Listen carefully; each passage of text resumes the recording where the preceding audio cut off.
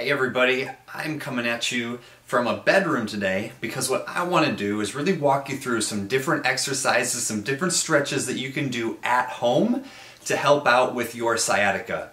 So again, I'm in a bedroom right now and I'm going to walk you through some things that can be done right here on a bed, on your bed at home to make sure that you aren't dealing with the sciatic symptoms as much this year as you were last year. So it's three really, really simple exercises, and it's simply the three different ranges of motion with your low back. Now again, the reason that we're looking at the low back when we look at sciatica is because the nerves that go all the way down the leg, causing sciatica, actually start right here in the low back. So they exit here and they go down the back side of the butt and down the back side of the leg, exactly where people experience sciatica. So I want to walk you through those three different exercises, and again, it's the three ranges of motion, so it should be really easy to remember. The first one is going to be done with your hands on your knees, and you're going to go side to side. Okay, so through the full range of motion of your spine, the neck, and your low back, side to side.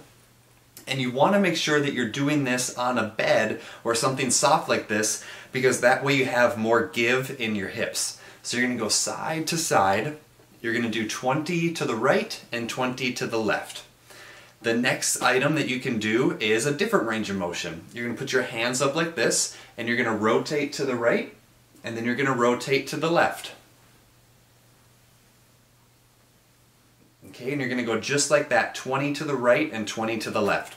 Then the last range of motion, you guessed it, is front and back. So you're going to start again with your hands on your knees. You're going to go all the way forward. And then you're going to go all the way back. So this one is a little special. It's kind of like cat and cow if, if, if you've ever done yoga, except you're doing it seated. You're going to tuck your tummy way in when you go forward, and then you're going to extend that low back all the way forward when you extend into this way, okay? So those three ranges of motion, side to side, rotation, and then front and back. Now the key with this, especially if you're experiencing excruciating sciatic pain, is that you only want to go um, to a very gentle regimen with this exercise routine. So you're not you know, being very, very intense with it and, and going to the point of where it's really causing you pain, you just want to be super gentle, go through the full range of motion, but if you do feel pain, you want to make sure that you stop because you don't want to aggravate it more. Now this routine is really, really good um, for a lot of people that are experiencing sciatica, and um, especially if, if the symptoms aren't super severe. However, if this doesn't fix your sciatica or give you long-term relief, make sure that you contact me at Deep Roots Health Center because I actually have a full regimen of thousand plus different stretches and exercises that I can look at to see if we can put something together that would definitely help out your sciatica for the long term and actually fix that cause of the problem.